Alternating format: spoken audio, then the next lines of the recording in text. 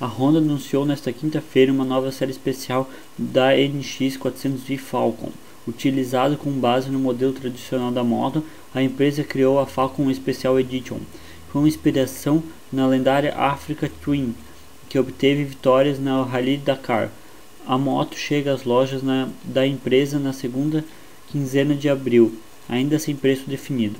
O modelo recebeu grafismos similares aos da XRF XRV 750 Africa Twin, desenvolvida a partir da NXR 750 e responsável pelos maiores sucessos da Honda da competição. A diferença dessa nova versão está no visual, que carrega as tradicionais cores da Honda em corridas azul, branco e vermelho.